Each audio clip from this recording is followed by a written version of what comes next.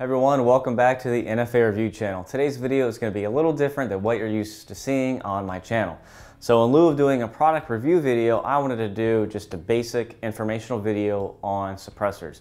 Because every single day I get emails, PMs, and DMs on basic questions to advanced questions on suppressors. So I wanted to create a video that's going to be a one-stop shop, very clear and concise. I'm going to try to get this thing rolling nice and smooth and we're going to cover basically everything from the history of the first suppressor to how they work, to how the assemblies work, to what they're made from, to why you use them, stuff like that. So whether you're a, a uh, novice in the suppressor world or you've been around them for a couple years, hopefully this video will kind of touch base on enough so everybody can learn something today. So I never script my video guys. Uh, best I, I script for my other videos is I have a whiteboard there behind the camera that I jot down some specifications on so I don't forget anything.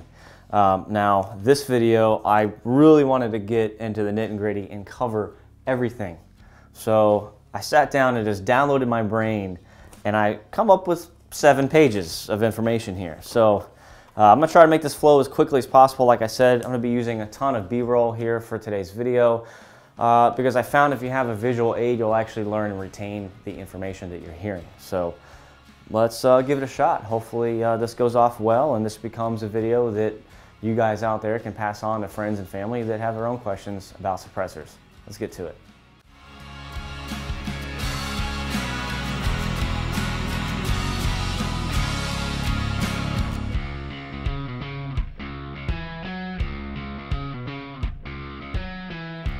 All right, starting from the very beginning.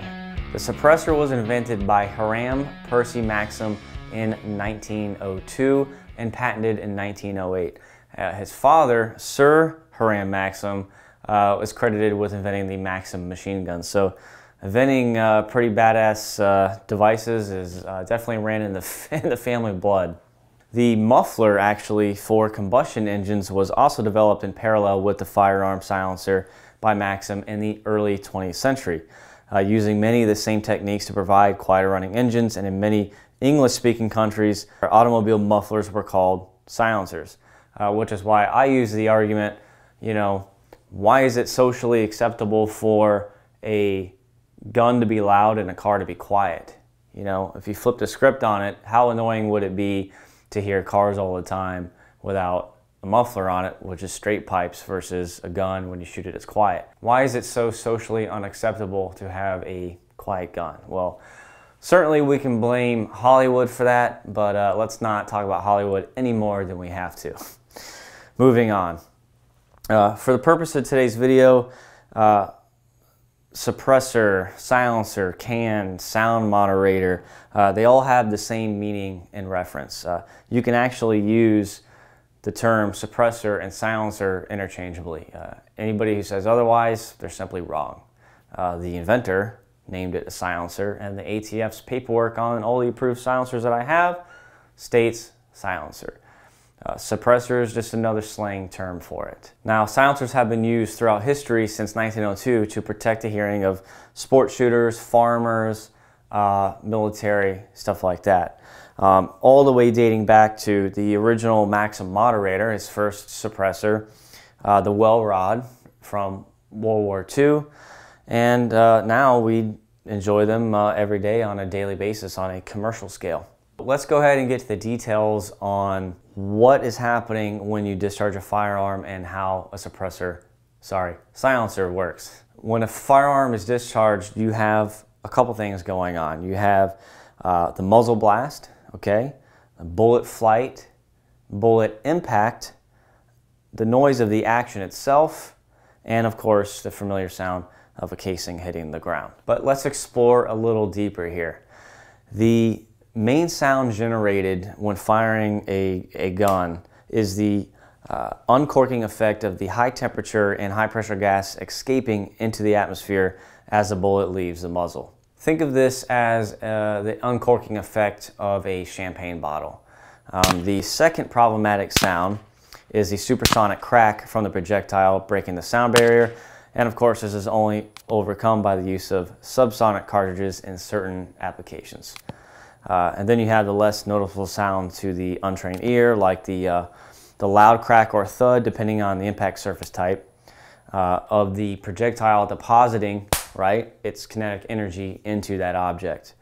Um, and then finally, other noises, like I mentioned earlier, of the distinct differences between a metal on metal action noise versus a metal on polymer action noise, right? A little duller and stuff like that. So all these sounds are usually overshadowed by that loud uncorking effect of the gunshot and you can't normally hear them. Well, when you're shooting with a suppressor, uh, they all become very clear on just how loud they are in themselves. So the main goal again with a suppressor is to eliminate that instant uncorking effect into the atmosphere, right?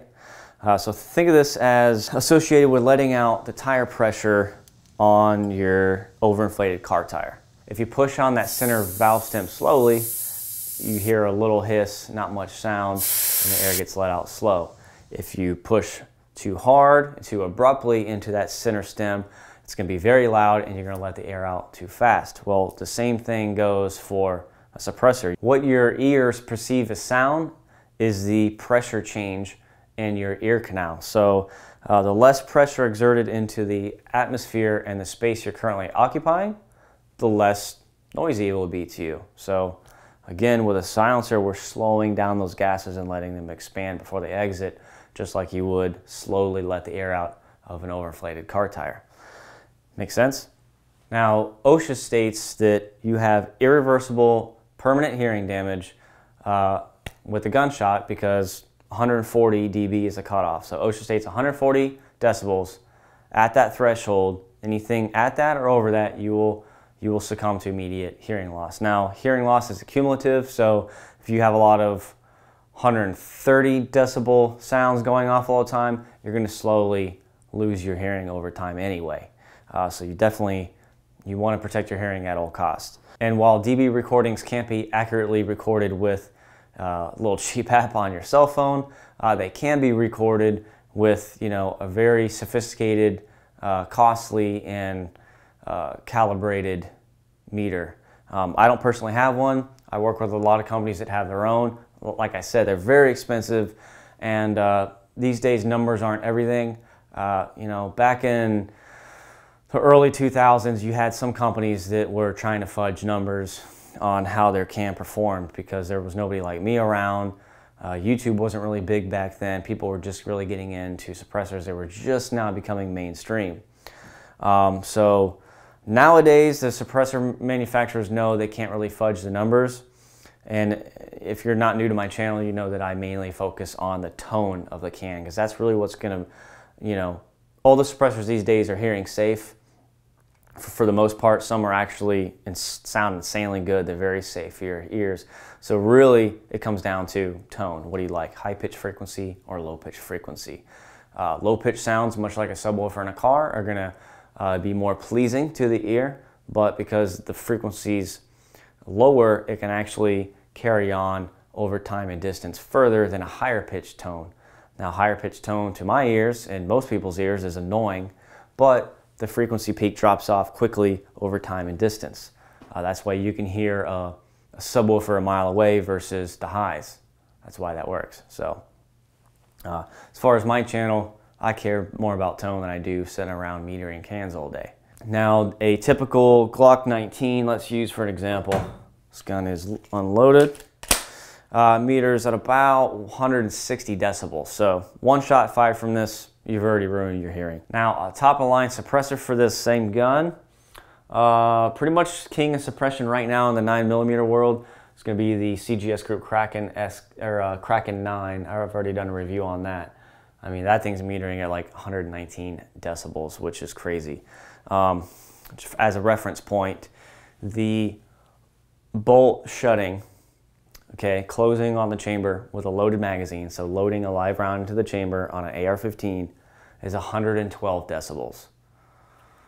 That with subsonic ammunition is 119, so very quiet. Now, some suppressors do better at the muzzle when they get metered versus the ejection port. So you've probably seen out there in your research companies say at ear metering or at muzzle metering. Well, the military standard is at muzzle, but nowadays we're starting to kind of drift apart that in the commercial segment and a lot of companies are either gathering both or they're gathering the at ear because that's more important really. Um, I'm the one shooting the gun. I need my ears protected. Or if you're an onlooker from a couple feet away, it's not going to make a difference anyway what it meters at at the muzzle. Um, the reason there's a difference is because there's a fine line here with being too good, if that makes any sense. So if this is really corked up and it really lowers that pressure in here, really restricts it before it exits and hits the atmosphere, then chances are you're going to get a lot of back pressure when you're shooting. So when that breech unlocks, you're going to get a lot of back pressure coming back out that barrel in the form of unburnt gunpowder granules and uh, gas pressure in your face and sound. So there's a really fine formula there for getting it just right. Uh, that can definitely does it. This is the old AAC TiRant 9. Uh, actually, for being as old as it is, it's a, uh, it's a great can. It sounds really good. Uh, it's just not as uh, easy to clean. All right, now that we have all that out of the way, let's go ahead and cover what the suppressor itself consists of. So they're all going to be pretty much the same design as far as a muzzle mounted can. You're going to have an area where it attaches to the firearm, a booster assembly or not, the baffle stack, be it uh, baffles individual or a monocore, the tube, and then an end cap. So starting from front to back, we're gonna have a direct thread. That's gonna be your most common uh, weight amount of firearm, especially to a handgun. This is the most common and direct thread is exactly that. You have a female portion on the suppressor that mates with a male thread portion of your host firearm. Screw it on, secure it, and you're good to go. Uh, there's other ways to attach as well. Uh, QD or quick detach. Uh, we'll pull this one off here. This is a CEMMG can I just did a review on not too long ago.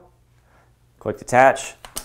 You're gonna have, you know, your normal threaded barrel and then your QD attachment system that's proprietary that comes with a suppressor mounts to your gun and then its mounting interface mounts with the back of the suppressor. So it's a lot quicker, then screwing on a half inch long thread onto a host and it's secure and it will not loosen under heavy firing schedules like full auto, stuff like that. So those are your main two, direct thread and QD. Let's discuss why you have to use certain mounting surfaces. So you have two different types of barrels out there that you're gonna come across when shooting suppressed and different variables you're gonna have to overcome. So when shooting on a handgun, you have a Browning type action, right? On most of these guns, save for the Beretta. Um, meaning it's a, the barrel has to tilt up to unlock so the action can operate properly. Well, if you add a suppressor, which is weight, to the end of the barrel, that's going to impede that firearm's ability to properly cycle. So in these, you have a device called a Nielsen device or a booster. What that essentially does is boost the recoil. Is that, it's exactly what it sounds like. So how it works is you, you have a couple components here that make up the booster no matter what the brand. You have a piston, which is your threaded adapter that threads to your host gun. Around that on the inside, you have a spring that sits in the blast chamber. And what happens is when you shoot the gun, the gas pressure behind the bullet goes into the first section of the suppressor and pulls it forward. I'll demonstrate here how you can see the can actually moves forward itself. When that spring compresses, it allows the barrel to free float and unlock from the frame. At the end of the recoil cycle, that spring rebounds back and then the slide snaps forward, the gun relocks and you're ready to fire again.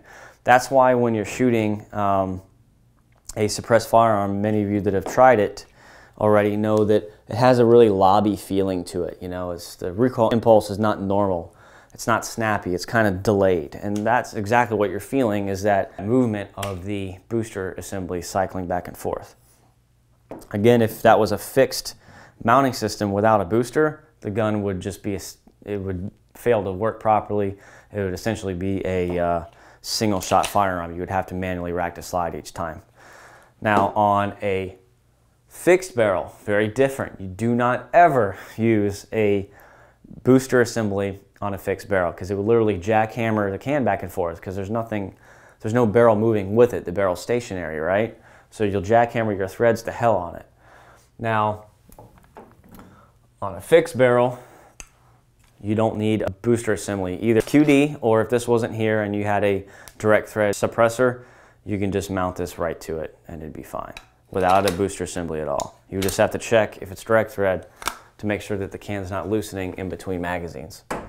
Now, circling back to a suppressor that has a booster on a handgun, anytime you add a weight to the end of a barrel, be it a pistol or a rifle, you can change the point of impact. And that's due to a couple factors. Uh, you have barrel harmonics and the gas and cross-jetting happening behind the projectile as it leaves. Anytime you have a pressure differential behind a projectile or the base of the projectile, you can, you can change things.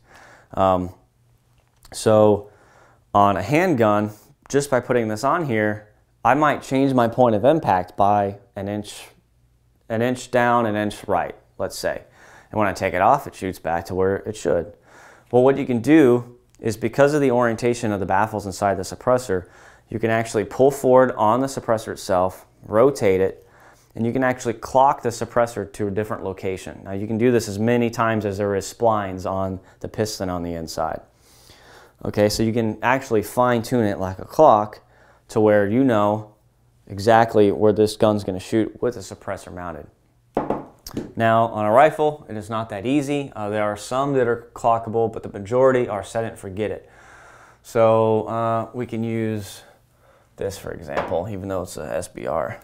So the Sig Sauer MCX 300 Blackout here. Um, I didn't really find any point of impact change on this, but let's say we did. The reason it's happening is because if you look at a barrel at a um, rifle and it's shot under high-speed film, the barrel itself actually is whipping, okay? So anytime you add a weight to the end of the barrel, you're going to change the harmonics of the barrel and you can change the, the point of impact of the projectile itself. So that's why you see those uh, bench rest shooters sometimes, they have those weights, those rubber weights, and they slide it over the barrel. They're tuning the barrel and finding the right harmonics uh, to squeeze as most accuracy out of the gun as they can. Now, the name of the game here in the suppressor world is repeatability. I don't care if it shifts my point of impact, as long as the next time I put the suppressor on, I know exactly how to adjust my scope to be right where I need it. So all the modern cans today have pretty minimal point of impact shift, and even if they are, you can repeat the adjustments to hit the point of aim. All right, now let's move into the suppressor itself. In the tube, if we have the baffles or the monocore stack that I have been referencing, um, that's the part that's actually doing the work. The baffles allow the gas to slow uh, cross jet in many cases and cool down before it exits the front cap and exits the suppressor. Now, uh, some modern and common baffle types are K, uh, M, Omega. These can be machined from aluminum, uh, heat-treated 17.4 uh, stainless, uh, titanium, Inconel 718, Stellite, M300, maraging alloy. these are all very premium metals that can be used to machine the baffle stack. Now, you have those baffles that are individual baffles that stack together and slide inside the tube, or a monocore. It means exactly that. It's one core.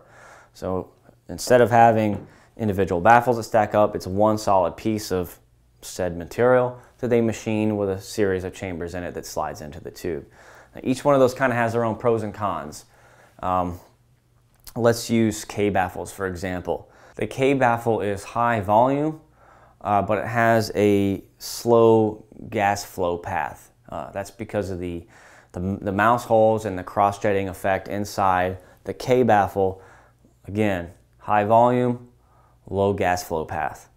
Uh, so generally you don't get first round pop. So if you've ever seen the acronym FRP on the forum or in a discussion area underneath one of my videos, FRP stands for first round pop. First round pop is a phenomenon where the uh, available oxygen inside a suppressor on the first round fired is ignited by that first shot and it burns a little longer so the, the first report is usually louder and then subsequent shots are quieter because you've replaced that oxygen with gun smoke there's no more O2 inside the suppressor it's much quieter K baffles don't really have that issue because by the time that that ignited gas gets to the front of the can, it's already slowed down enough. Monocore is a little different. While they might be easier to clean than a K baffle, uh, high volume but high gas flow path. So usually you get a louder first round pop on that first shot. Um, another pros and cons are uh, to not really the baffles, but the material are the metals. So as far as ease of cleaning, you've probably heard cleaning with ultrasonic cleaners. I'm gonna go ahead and simplify it. If it's not stainless steel, don't put it in there. If it's painted, don't put it in there. Anodized, don't put it in there. It will ruin everything. Stainless steel, bare metal parts only. So no titanium, no aluminum, it will cavitate them. It might not look like it's damaging your part, but if you do it over and over again, it's actually cavitating the metal on a microscopic level and it will damage it. Um, so I usually just hand clean my suppressors. All right, now moving back to the first round pop issue. Uh, one way to negate first, uh, first round pop is by shooting the suppressor wet. Now you probably heard that a lot on my channel. Uh, some of you have asked that question weekly on what that means, and it means exactly that. By um, uh, older cans had to use some sort of ablative to assist in suppression. So this additive forces the consumption of energy inside the suppressor and it displaces the oxygen, which will get rid of first round pop. So anytime you're making the suppressor do more work in here, the less you're gonna get out here. Some common ways to shoot it wet is uh, one to two cc's of wire pulling gel, water-based only, don't use the wax-based stuff. Water, spit, whatever drink you're drinking that day. Gun oil is hit or miss. If it's flammable, it makes it louder stuff like that. Uh, there's a lot of snake oil crap out there about making your suppressor quieter. I just use water because when you're using water, it's to convert to steam more readily than all the other products, right? And converting to steam is a good way to consume energy inside a suppressor. And when it's converting to steam, you're taking the surface area of one droplet of water, increasing it to 1700 times its size. So you're displacing any available air inside the suppressor on that first shot. As soon as that heat from that first round fired enters that can, boom, steam, you're gonna actually see a lot of steam jet out the front. And the report can be sometimes cut down by 20 decibels. I mean, it's it can really turn a quiet can into a, did it, did it shoot? I mean, it's that quiet. Uh, drawback when shooting wet. Cleanup, after the fact because there's water everywhere in your gun, especially, and uh, your face. Sometimes you guys see me shooting, and when I do my ending thoughts, I'm talking to the camera. I got peppering on my face. Well, that's from shooting it wet. And anytime you add water to a suppressor, nothing happens, like we did with the Kraken 9. It's basically as efficient as it could possibly be because there was no change in suppression. So that's one way to find out. Another phenomenon other than first round pop is called free bore boost. Now, I haven't confirmed it myself. It's actually a video that I'm looking forward to doing. I've been wanting to do it for a couple of years now and I'm gonna finally do it. So what free bore boost is, is the added effect of adding velocity to the projectile when you're adding a suppressor. So you're basically extending the barrel. So if we look at this gun, this little 22 here, Think of this as not only an expansion chamber and quieting the report, but it's also allowing that gunpowder to burn a little bit longer. And anytime you have that time and energy on the back of that projectile just a fraction of a second longer, it's going to propel it more. So the theory is that on, I don't know about pistols, which we will test, but on rifles, you can increase the velocity by adding a suppressor by 50 to 150 feet per second, which doesn't sound like much, but it is something. Which is funny because in the video games, it actually decreases your feet per second, which I always thought was funny. So I will do a video one day where I have a chronograph and we'll do some unsuppressed scenes with various guns and then we'll throw the suppressor on and see what we find. Uh, so that's free bore boost if you've ever heard that term. Now, in addition to the muzzle mounted cans that we've already discussed, we have integral. So integrals are exactly that. The suppressor itself is integral to the host firearm, so it's built in one piece. I did a review on this one. This is the um, TBA suppressor Sicario. So I actually did a fun little uh, entry or uh, intro scene to this suppressor that paid homage to the uh, the Sicario franchise movie. It's just a funny little scene I did. Uh, super quiet. The suppressor itself is built in to the barrel. Uh, so you can't even tell that this is suppressed at first glance. Another benefit of doing an integral is you're able to port the barrel. So probably wondering why you would want to port the barrel and bleed your velocity. Well, if you wanted to shoot cheap bulk pack high velocity ammo through a 22 instead of the more expensive subsonic rounds, have your barrel ported. Now you're going to bleed some of the pressure before it leaves its muzzle and then enters a suppressor, and you can shoot more affordably. Uh, I've done reviews on integrals. It's not, I haven't done a bunch of them because uh, mainly you guys want to see the muzzle cans. I think the last rifle one I did was for Ruger. Their ISB, that thing's like uber quiet. You need to check out that review if you haven't already.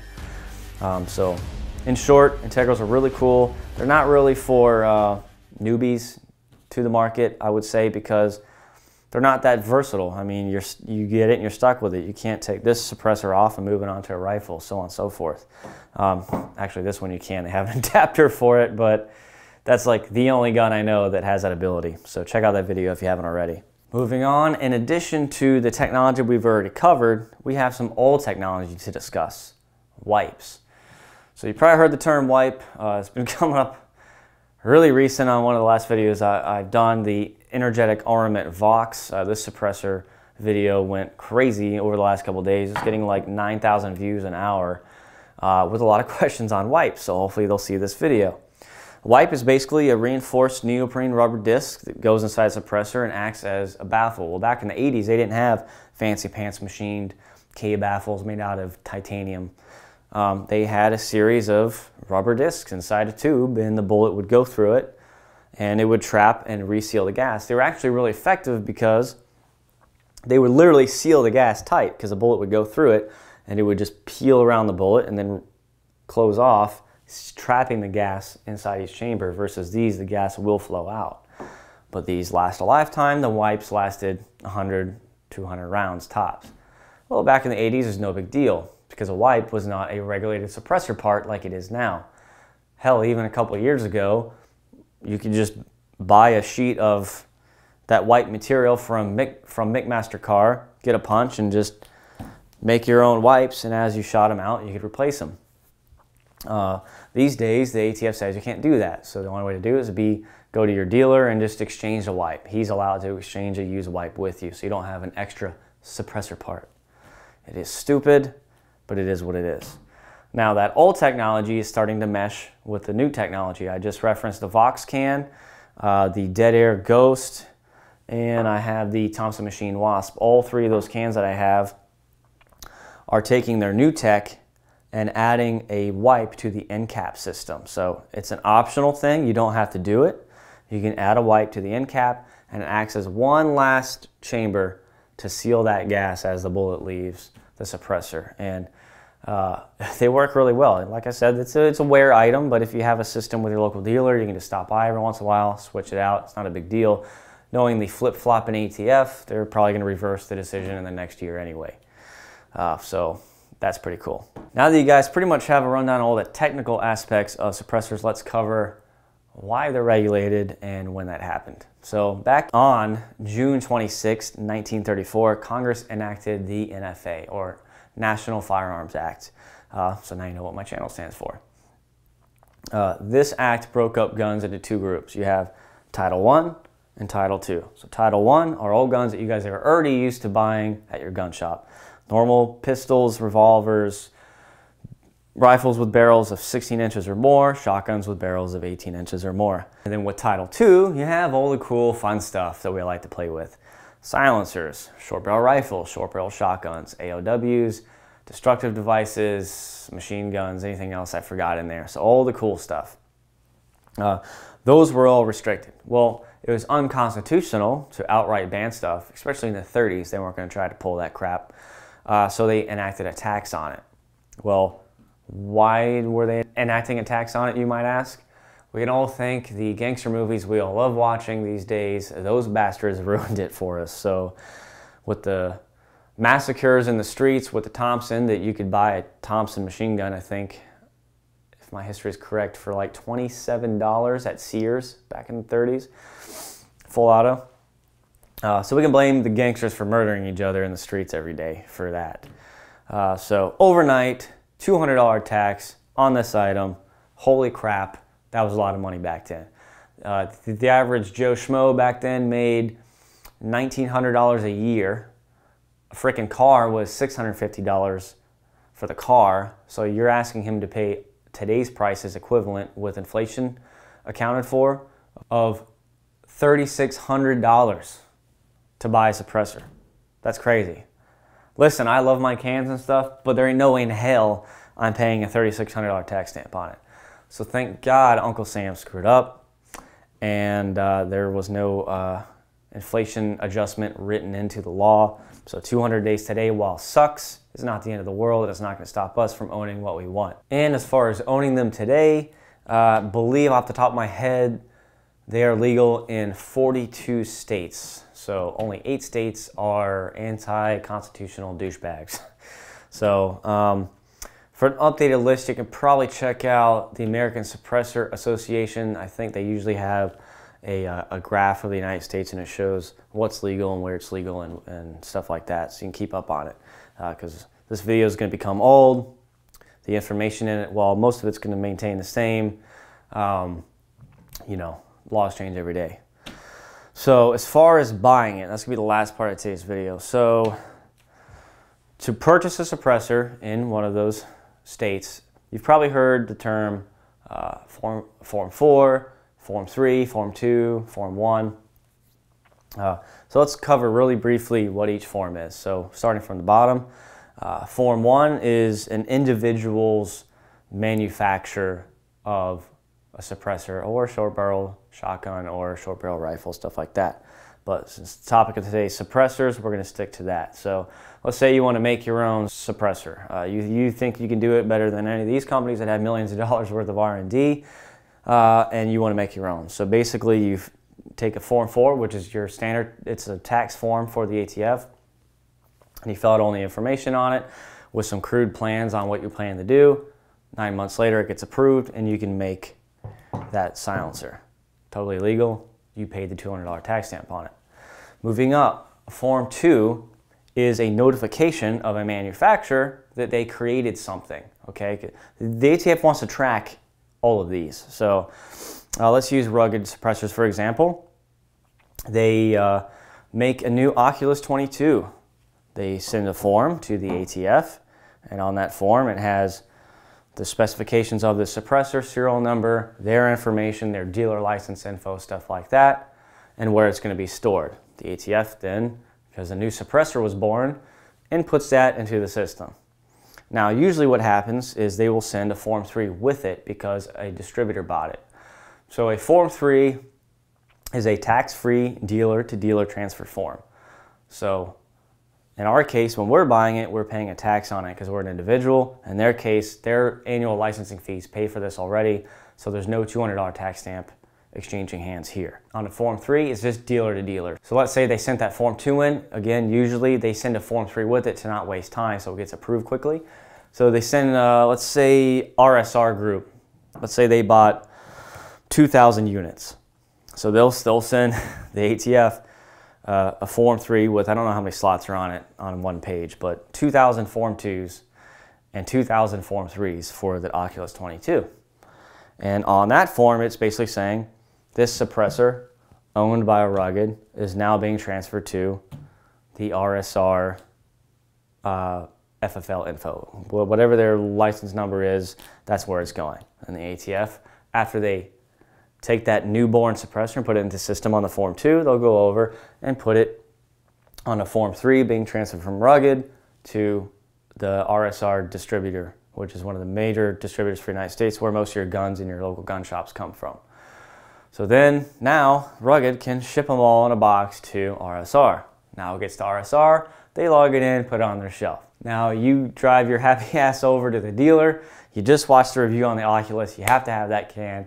You go to your dealer and you're like, I want this can, and he explains the whole process to you and it just like kicks you right between the legs. You can't believe you gotta wait nine months for this. Stay tuned.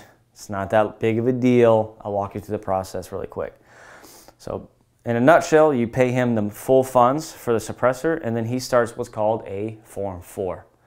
So now he's taking ownership of the suppressor on the Form 4 and transferring it into your, your individual name or a firearm trust.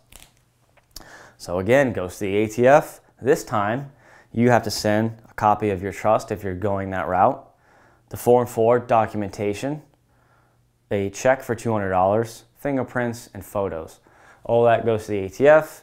They cash that check right away, bet your ass, and then your paperwork sits in a folder for the next nine months until an examiner walks his happy butt over there, picks up the cardboard box that it's in in a cubicle in a office building. You can't make this up. This is government.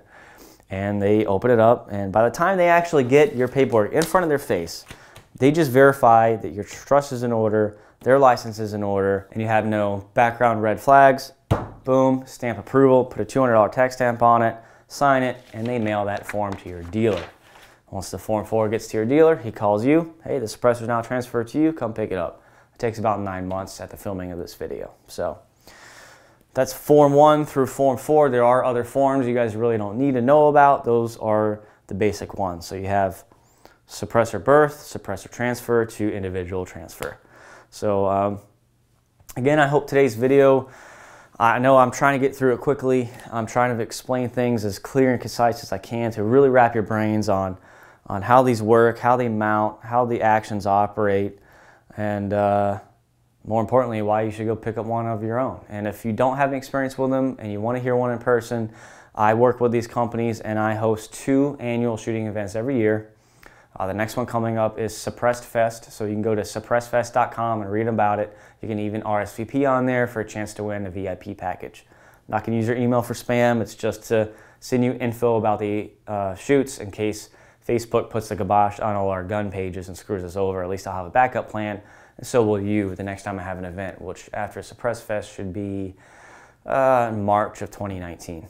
So Again, I hope you guys enjoyed today's video. Uh, I will be giving away the uh, Vox, actually the not this one, but I have one in my safe, the one I actually used in the video. I'm giving that away on my Patreon on October 12th. And then I'm filming again with uh, Energetic Armament soon, and then I'm gonna give away another suppressor from them, the uh, Nyx Mod 2, their 22 modular can. So a lot of good things going on on Patreon. Uh, only sign up if you feel it's something that brings value to you. If you want to help support the channel, I'm trying to like reward the hell out of you guys for it. Uh, doing the best I can with all the gift cards and the suppressor giveaways and stuff. But again, I'll only do it if you believe in the channel and what we're trying to do here. Um, so please uh, click that subscribe button, click the like button if you like today's video, and check that notification bell so you don't miss any further video announcements down the road. Uh, until then, I'll see you next time.